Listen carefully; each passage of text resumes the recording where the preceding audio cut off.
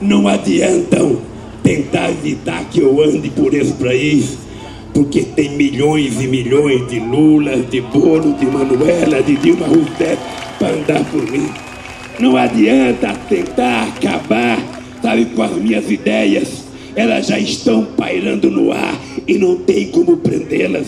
Não adianta tentar parar o meu sonho, porque quando eu parar de sonhar, eu sonharei pela cabeça de vocês e pelos donos de vocês. Não adianta achar que tudo vai parar o dia que o Lula tiver infarte. É bobagem, porque o meu coração baterá pelo coração de vocês. Então, milhões de corações, os poderosos, podem matar uma, duas ou três rosas, mas jamais conseguirão deter a chegada da primavera. E a nossa luta é em busca da primavera.